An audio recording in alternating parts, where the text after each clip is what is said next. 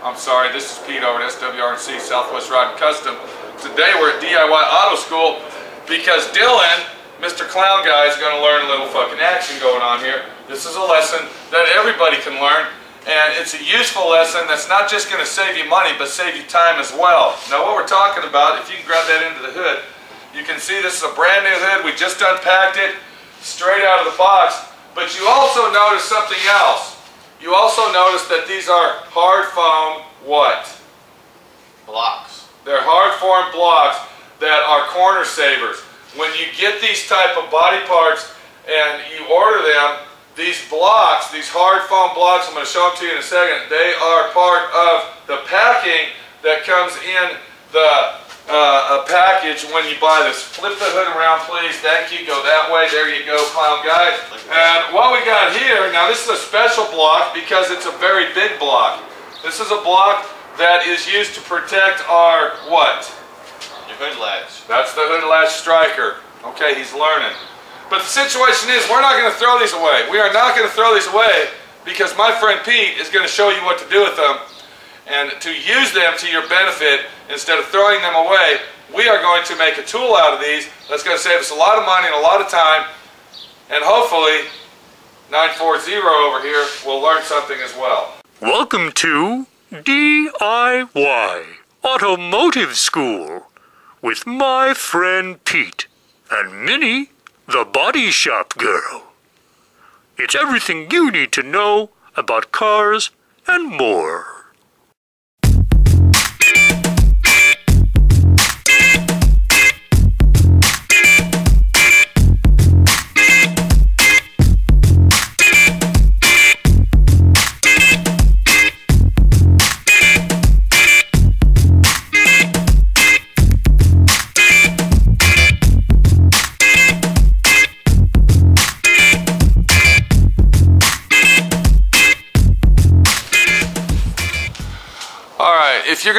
Professional paint and body guy, you're going to have to know how to hand sand. Now what hand sanding is, is using a hand block such as this one right here. This is a kit that you can buy that has various type of blocks inside it. Now there's also one other block added to this and this is the block that I'm talking about. This is a perforated hole block, they call it the big blue block. This is a very handy block for wet sanding and dry sanding. But this kit that you see right here, I'm not going to give names out. It doesn't fucking matter. I don't advertise, and if you don't like it, fuck it. That's right. All right? Follow the lead here, and you will figure out what we're talking about. These are hard rubber blocks. Okay? Can you hold that, please? Right here, assistant guy. All right, so what we got here, we got flexible blocks of different sizes and kinds. Now what we're going to do, we are going to make our own custom blocks and I'm going to show you how to do that using the utility that is in the hood uh, uh, package when you get this package. There's no sense throwing these away. What we're going to do is we're going to make tools out of them that are going to be useful to you and me and hopefully this guy back here as we proceed down the line to do a professional job and do a quality job for the customer that's paying us to paint his fucking car. So we just saw that you can buy a kit which is very handy and it's always good to have this but there's always other avenues that you might travel down. I got a fucking airplane in the background. Where the hell is he, bud? Do you hear that fucking airplane? I can't think, dude, when the airplane's traveling.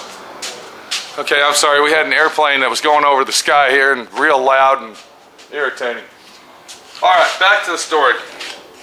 So we know that you can buy these blocks and blocks are handy to have like that. Best block kit that you'll ever own. But another thing that you're going to have that's very handy is your own personal handy dandy sanding blocks that you make yourself. Where's my grinder and is my air fucking compressor on? No. Turn my air compressor on, please. On, A technical assistant? Are you fucking joking me? Clown Hat needs to get his shit together because this is ridiculous. He shows up 30 minutes late this morning. Uh, he comes in dragging his ass telling me how he needs his phone for personal business and he had to go back to the house and all this other shit and blah blah blah blah blah. when he knows that he's supposed to open the shop right when he gets out of his truck, turn the fucking air compressor on, and get shit going. So I, the owner, don't have to.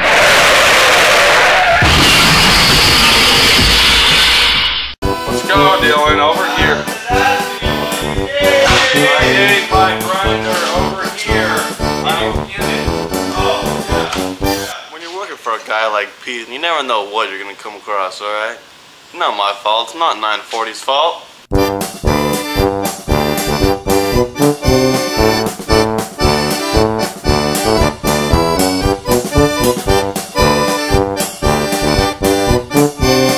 All right, before we go any further, once again, we showed you the blocks that you can purchase. Now, this is a block that I made right here, and this is actually a very flimsy foam. Do you see that? Yeah. This came out of a package.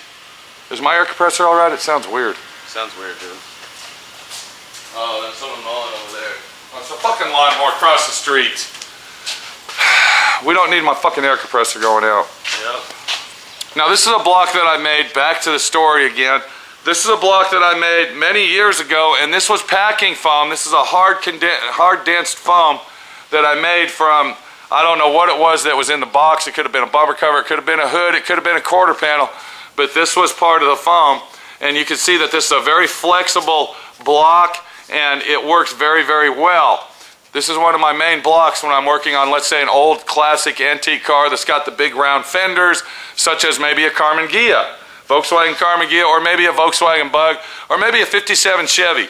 All right, this is a hand block. Hand blocking is very important when you're sanding to get your body work proper without using your hand. Don't ever use your bare hand due to the fact if you look right here you can see the ridges in my fingers using your hand is a bad idea so this is uh, the reason I made this block so I can actually use my hand and it will form to my hand as I am sanding what we're going to do today we are going to take this condensed foam right here all right now these are pieces once again off the hood that was shipped to us these are corner protectors and these are very handy items to make blocks out of that will be precise and accurate to what you are trying to do. Now take for instance this block right here. We would probably just keep this block just like it is.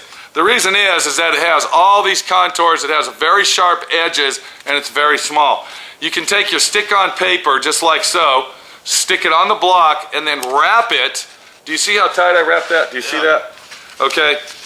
And then once it's wrapped, it becomes a little hand block that you will be able to use in very tight corner spots. Like let's say for instance right here in this area right here you can see that this has a sharp line here and a sharp line there. What we would do to get that precisely blocked properly is we might be able to take our little hand block that we were going to throw in the trash and we'd be able to block that out and get a nice good surface going. You see how I'm doing that? Okay, and do you see how using the small block it covers all of the area? And when I say all the area, if you watch real close now, when I sand with my hand, for instance, okay, let me go ahead and uh, sand this part with my hand. You can see that sanding with your hand does not give it a proper sand job if you use the block. So this block would be handy to keep just like it is.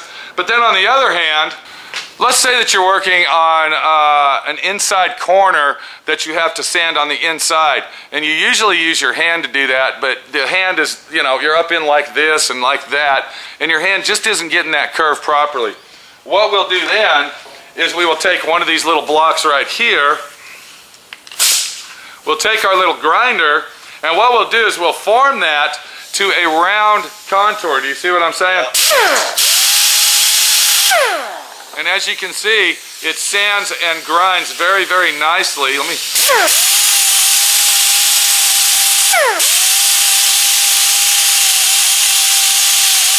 And I just want to let you know I'm doing this very quickly just to show you the situation. You would actually want to take your time. And motherfucking air hose, I thought you fixed that bitch. Not that one.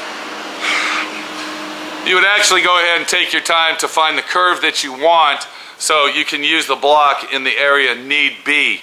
Uh, then you can go ahead once again and uh, take your sandpaper just like so. And now you just made yourself a nice hard firm block to go ahead and sand inside that area or wherever you're sanding.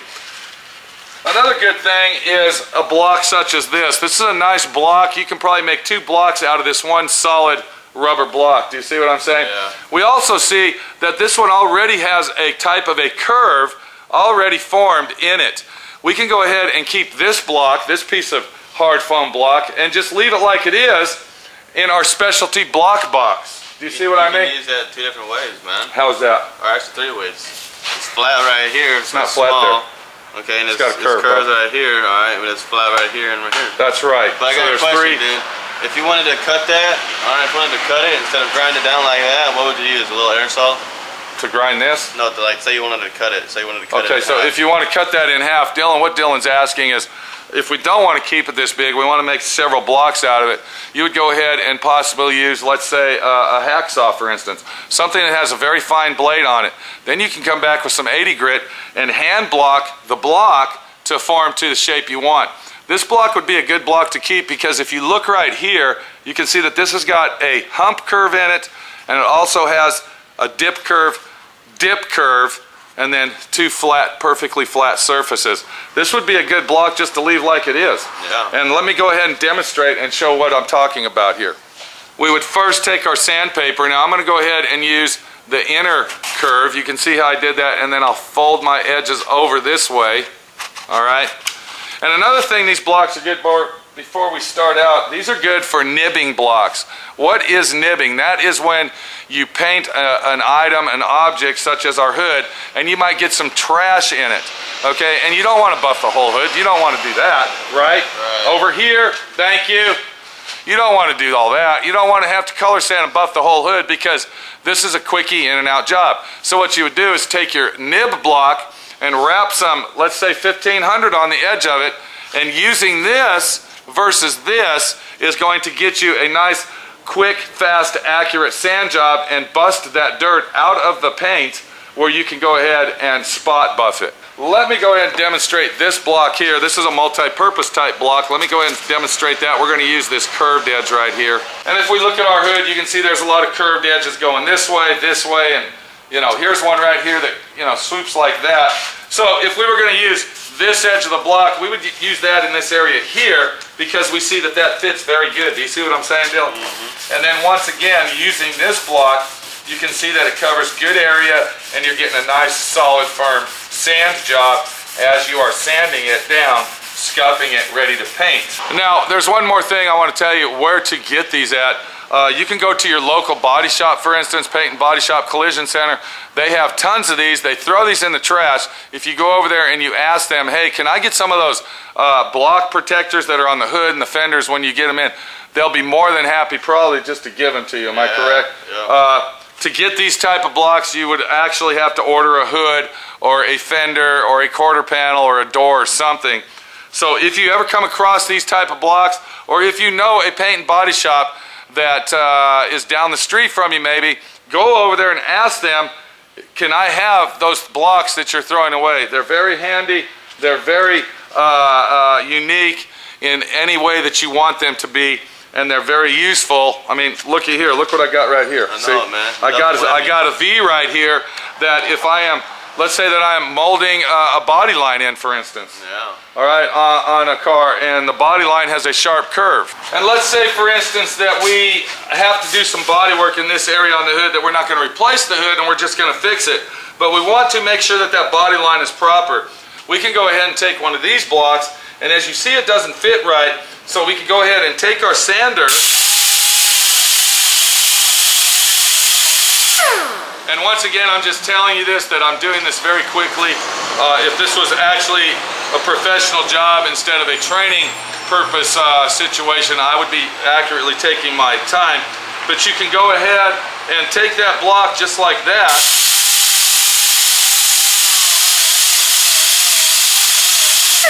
And then sand it to the contour that you want to fit that area. Once it's sanded down or molded to fit that outer contour, that line, then you'd be able to take that block and get that line perfect where you would never even be able to tell. So if you come across any of these, if you got uh, access to get some of them, Get them, keep them, don't throw them away because this could save you a lot of time, a lot of money, and also give you a toolbox full of tools that you can work with the rest of your life. This is Pete, my friend Pete, your friend Pete. Tech tip of the day, foam blocks, trash that we have turned into tools. Hey, so is that be something you would use opposed to one of your blocks over here? Or, Okay. or, or can All right, they first of all, or are they just specialty blocks? These would be specialty blocks that you would use on different angles, features, and uh, contours of the body. Uh, I'm going to say it once again. These are good for nibbing. Okay, nibbing is a uh, technique that you do when you get dust in your clear coat or your paint. You would nib that little dust speck out so you can spot buff it. This would be a good block for contours. All right, we will keep this block just like that, and uh, hopefully it'll be useful to us. You can take these blocks once again, and you can form them to the shapes that you are sanding, and and accurately sand what you need to sand. This is Pete. We got 940 in back of us here, and. Uh, Hopefully you learned something today and I didn't waste your time and you didn't waste my time because watch, listening, and learning will make you a better person to do it right, get her done, do it right, and always be on top of the fucking game, just like I am. And hopefully this fucking clown will be one day. Thank you. Okay. We need to get our fucking hood done. You need to get that bitch sanded so we can paint the inside of it. Let's go. Hey, dude, I got an idea. Why don't we make a DIY on uh, cracked windshields? How to stop the crack? All right, tomorrow. Okay, tomorrow. We'll make one tomorrow. Okay, cracked windshield 101 tomorrow, bud. Not today. Not today. We've already been fucking around all day. Let's not do it today. We gotta go. Take it easy. All right. Get that hood sanded. We gotta clear. it. We gotta get the paint on it. Take it easy. We'll wanna you wet sand later. it or what, man? No, I don't. I want to paint. Get the fucking inside of it sanded. Scuff it down with a red Scotch Brite. We gotta paint it silver. Take it easy, man. You have a lot less stress in your life, dude. You just turn it down about 10 fucking notches. Remember, don't throw them away. Go to the body shops, get your specialty sanding blocks for free, and they'll be more than happy to give them to you. See you later, and take it easy. No. I, I asked you to pull the fucking car around so we can see what covers and what doesn't. You haven't even done that yet. Okay, we just got done with the video, that's why. You ever thought about that? I don't got two bodies. I'm gonna get sick, dude. I'm gonna get fucking sick here. How long have you fucking been here, clown fucking hat? As long as you don't shit. Get it! As long as you don't shit.